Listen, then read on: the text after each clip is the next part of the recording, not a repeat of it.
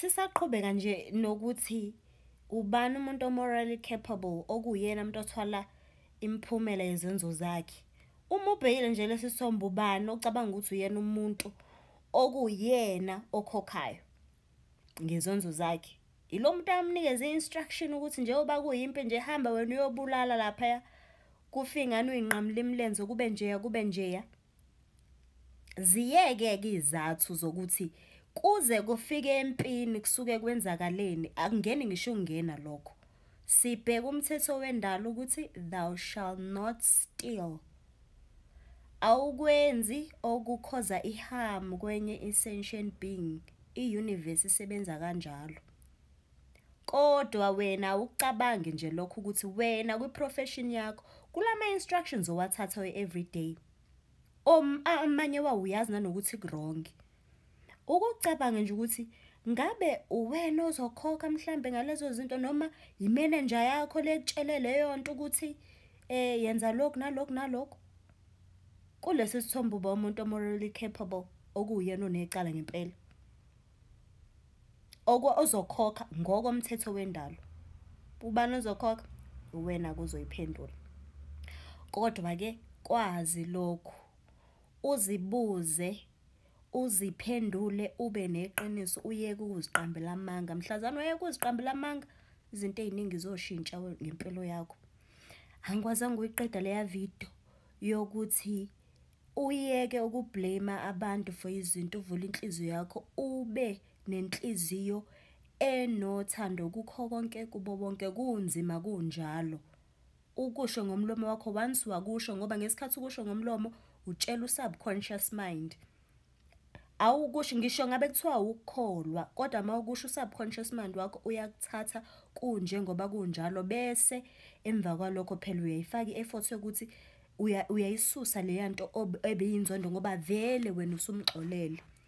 Izinto ey'ningi ebantwini even ukuba nama-visions nokubona noku-communicate-a nama-guides wakho izinto ey'ningi zivinjwe ukuthi uselapha kuma-lower states of i-vibration.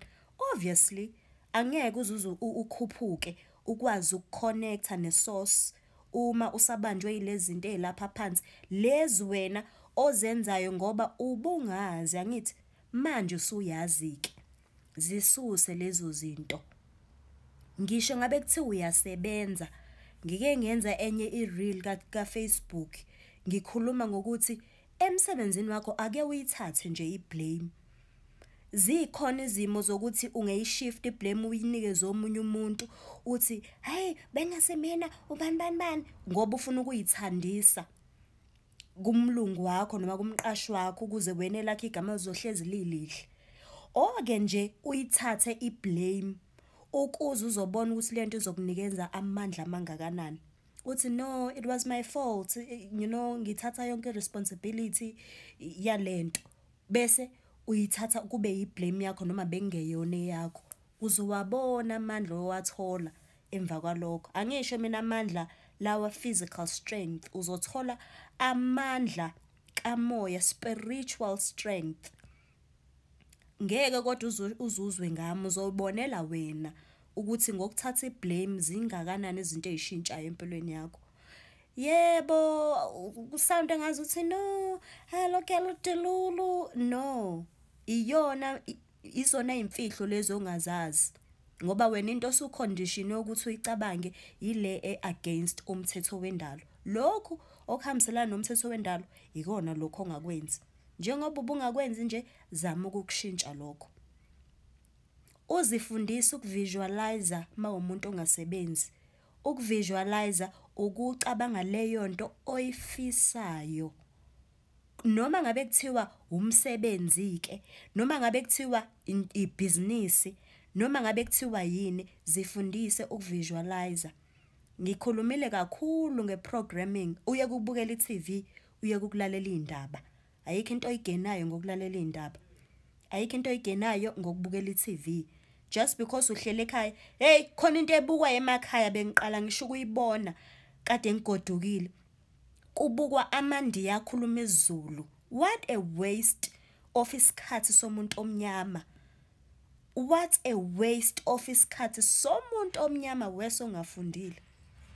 nihlala nibukelela amandiya akhuluma isiZulu lapha ku-DSTV ngathuka ngacishe mina ngangitshela mhlambe no yinto efakiwe kade kuleyo muze engangikuwona mhlambe bafake i-DVD or something hayi no into edlalayo nje kwi-channel futhi idlala usu angazi noma ubusuku nemini like ine-channel yayo. Baze baneyiqephu umuntu ayilandela ukuthi hayi ngiyabathanda lozo angazi obani bani bani bani bani amagama amandiya kodwa akhuluma isiZulu. What a waste of a person's time. Espenda entweni engathi shu engenamsebenzi engeke imsize ngalutho. Angikhathali ngisho ngathi isifundo singakanani entweni lo ibuka ayikho into eyisifundo. eku-TV ezokunikeza into ezokuphilisa. Ukunolokho kuzokunikeza iprogram le orana ngayo phuma ku-TV ukunalokho ungamane uthatha incwadi ufunde. Noma ulalela i-intuition yakho ke ngisho ukhona la ku-TikTok. Yeke ukuspend isikhathi sakho ku-TikTok ubukela izinto owaziyo ukuthi vele aziwenza umahluko empilweni yakho. Bukela something owaziyo ukuthi izokusiza. Ngena ku-YouTube ubukele i-natural law seminar kaMark Persio. Uyibukeze leso siqeshana. Uma ungayizwa uphinde uyilalele futhi. Uphinde ulalele futhi. Uma unga-understand uthi ngiyacela ukuyiqonda lento engiyibukayo. Ukhuluma nama-guides wakho awukhulumi nami. Ukhuluma nama-guides wakho uyawatshela ukuthi le nto le ngifuna engiyibukayo ngifuna ukuyizwa ngifuna ukuyi-understanda ngifuna ukuyi-aplaya empilweni yami. Uyakusho lokho. Bese uyaphesista uqhubeke ngoba vele ingqondo yakho isi-short circuit ngama-advert lawo owabukayo njengoba ubuka i-TV ubuke into akaphe no-10 minutes sengene i-advert ingqondo yakho yikho ingakwazi ukuconcentrate for long. Ayikwazi ukuconcentrate for long even kwinto e-useful ngoba uyashesha ukubhoreka. Ungena ku-live for one minute uthi hayi no lezi zinto abakhuluma ngazo ungazikho nje interesting. Akukhulunywa ngamadoda la akukhulunywa ngento zonke lezi zinto ezingakhi yizona lezo addicted kuzona. Zama ukuyishintsha leyo nto. Khona ividiyo engeke ngayibuka yokureprogram ingqondo yakho ukuthi uma uxubha ngesandla sakwa right awushintshe nje uvuke ekuseni uma uxubha uxubhe ngesandla sakwa left ngamasibomu ukukuyidida ingqondo yakho ukuze uzokujwayela leyo nto ngoba ngesikhathi ukwenza lokho consciously uzojwayela ukuthi oh okay kambe inhloso la ukureprogram ingqondo yami so that uzophuma kule mindset obuvela uhlele kuyona le engakusiza. Uxubhe ngesixubho ngesandla saka left ngamasibomu hayi ukuthi uzenza umuntu okhubazekile uxubha ngaso vele ayikho into oyigenayo ngokuxubha ngo right ujwayele vele into osuyenza ngisho ungazi. Uke nje uxubhe nje for whole month straight uxubhe ngesixubho. Uxubhe ngo left uma uma u right uma u left uxubhe ngesixubho saka right uzobona ukuthi uzoba more aware. Uvuke njalo ekuseni ungakhohlwa ukuyitshela ukuthi uyayithanda uyayithanda uyayithanda uyayithanda. Khona uzoyeka ukufuna uthando ebantwini ngaphandle. Ngeke uzube satisfied. Ngeke uzukuthola ukuneliseka enhlizweni yakho ngothando ozobe ulifuna ebantwini. Ma ungasebenzi ke even worse. You have zero business nento zama relationship ngoba kwayona le le energy yakho usuzobe sewuyisplitter. Once waba ku relationship ungasebenzi half of your brain is already dedicated to a relationship uh, half of your emotions are dedicated to a relationship ama emotions okumanifest uzowathathaphi ube usacabangana nomfana ongakufonelanga mayivuka ube usafona ucabanga nomfana ongakusendelanga ugood night. Yes kuzokwenza ukuthi uzizwe kangcono. Kuzokwenza ukuthi uyibone ukuthi at least ngizothola i1000 mhlambe mayehola. Kodwa what is i1000 compared to lokhu wena ocapable ukuthi ukuachieve ngokusebenzisa ingqondo yakho fully? Futhi lokho akuzokukhetha ukuthi owasemakhaya owasema suburbs eh uyibhinqa ulona ibhinqa umthetho nje wendalo uyasebenza kuwo wonke umuntu ofunayo funa uzothola ngesikhathi uyifuna lento iyafuna nayo ukuthi uyikhumbule. Le sovereignty ephila kuwe ngaphakathi kwakho the god which is umoya wakho iyafuna ukuthi nayo ilangazelela ukuthi uyikhumbule.